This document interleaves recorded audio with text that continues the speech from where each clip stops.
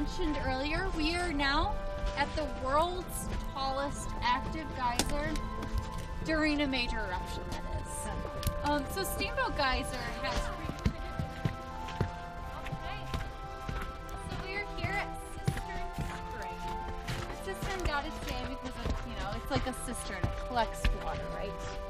Um, but as you look beyond it, you see a lot of dead trees, right?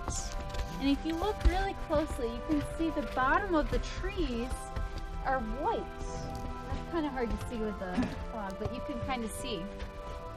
Now I want to Oh, ask. really? This side of the canyon, it's mostly right by the river, right by it. Yeah. And evidently the bison is falling into one of the thermal features. He said double double toil and trouble. Fire burn and then cauldron bubble.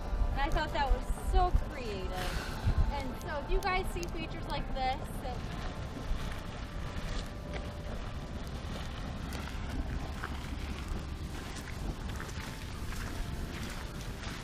it would roar to life like the sound of a hurricane.